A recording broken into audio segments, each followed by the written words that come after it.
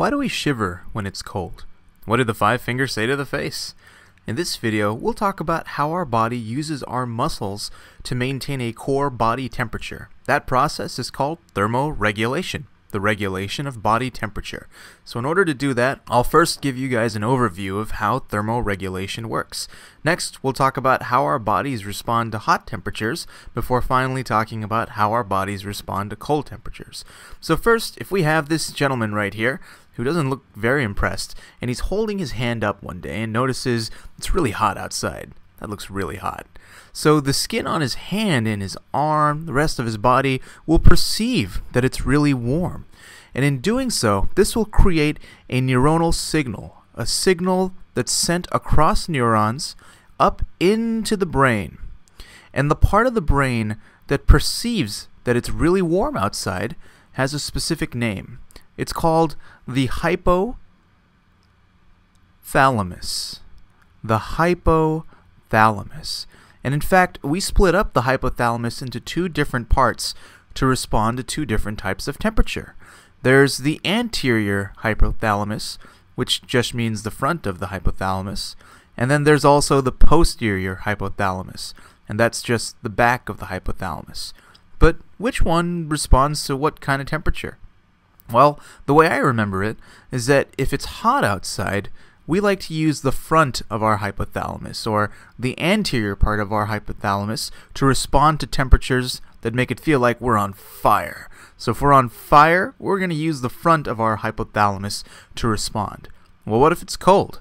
In those situations, we'll use the posterior part, or the back of our hypothalamus, to respond to climates that make us say, brrr.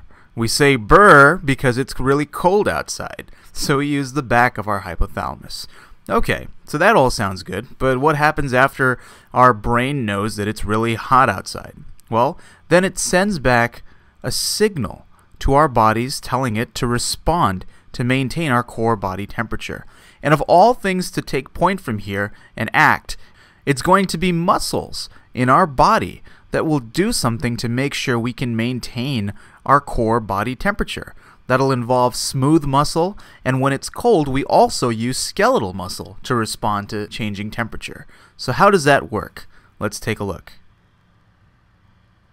When we're in a hot or a cold environment, how do muscle help us respond here? Well, the way to talk about this is to go through the two main types of muscle that'll act here.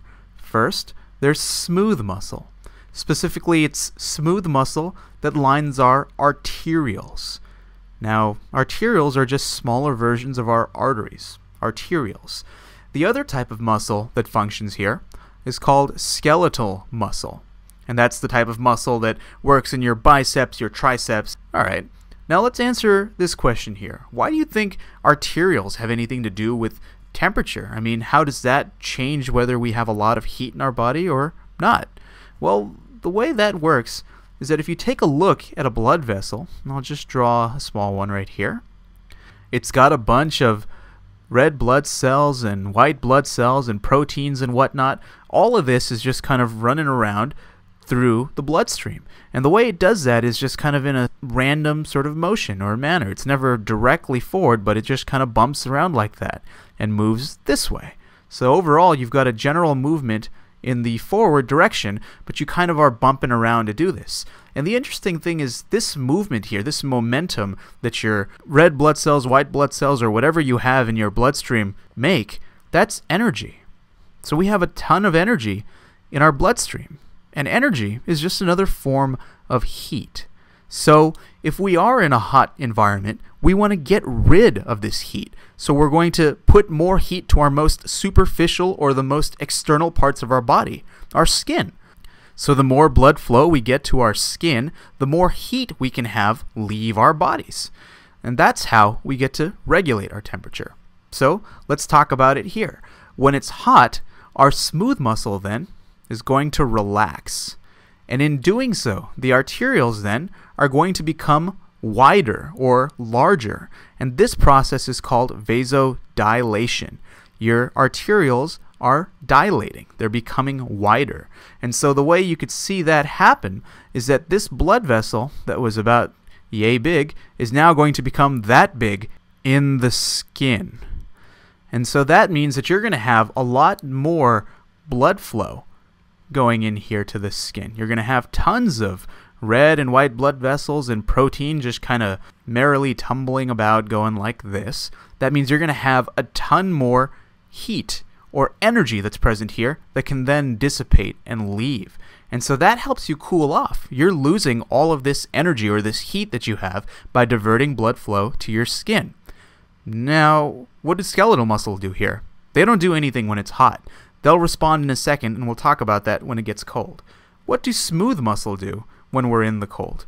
Well, you can imagine that if we relaxed when it was hot, it's fair to think that we're going to contract when it's cold. And so this process then in the arterioles is going to be called vasoconstriction. Vasoconstriction, which just means the narrowing of our arterioles.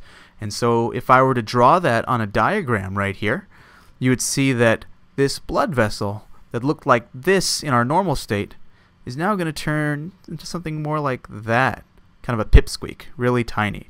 So you're going to have red blood cells white blood cells and protein just kind of shifting through here like this, but there's not a lot of opportunity to kind of tumble around and be naughty. They just got to go forward.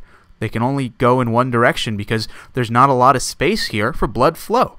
And so in the skin, you're going to have less energy or less heat that's present at this very external or superficial part of your body the more blood that you have that gets away from the skin, the more that's going to go towards your core. Your core will then have more energy or more heat to help you stay warm when it's cold outside. So that's what your smooth muscle does. What do skeletal muscle do? Well, skeletal muscle will also contract when it's cold. But there's a very different purpose for why that happens. When skeletal muscle contracts, it's going to take ATP, or adenosine tri or 3 phosphate and break that to make adenosine diphosphate, ADP. So that's two phosphates. And we just snapped off a little phosphate group. I'll write an I here to show that it just snapped off. But these aren't the only two things that are made. You actually will produce energy as well. And we call this reaction an exothermic reaction. Exo meaning exiting or the leaving of, thermo or thermic, meaning heat or energy. And so we're actually producing energy here by contracting our skeletal muscle. This happens in our core muscle groups that cause more of the heat that's being produced from this reaction to be stored there to help us respond to these cold environments. Now, this isn't such an unusual process that's so foreign to us. The contraction of our core skeletal muscle groups is actually just called shivering. This is the whole reason why we shiver when it's cold, because we need to produce some energy by breaking off some phosphate from this ATP, and that shivering then will help us warm up when we're in the cold. And that's how our muscles help us respond to temperature change.